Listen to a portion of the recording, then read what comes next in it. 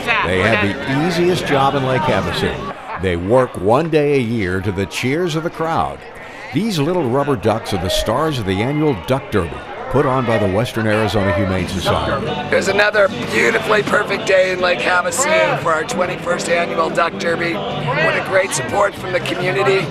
Close to 3,000 ducks, 65 corporate ducks. Everybody was down here cheering them all. We want to thank all our sponsors and everyone who helped out with the Duck Derby. Here's how it works there are two classes corporate, area businesses create these exotic creatures and race for bragging rights.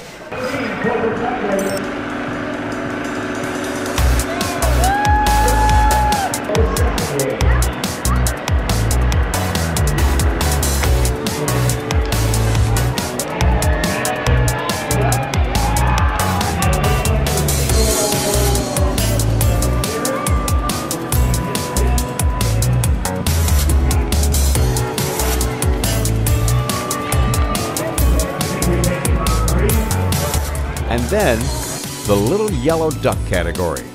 Anyone can adopt a duck for a modest entry fee, then come on down to the channel under the bridge to watch the fun. And of course, there were some protesters. As always, resident ducks made a lot of noise about these intruders, but it was all in good fun. They race several heats to thin out the competition.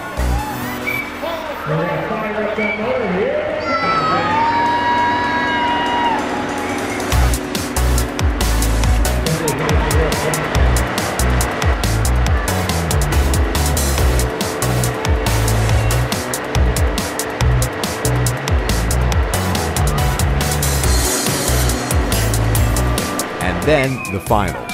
The top 40 ducks go back in the drink to determine which one will win their owner the $1,000 first prize.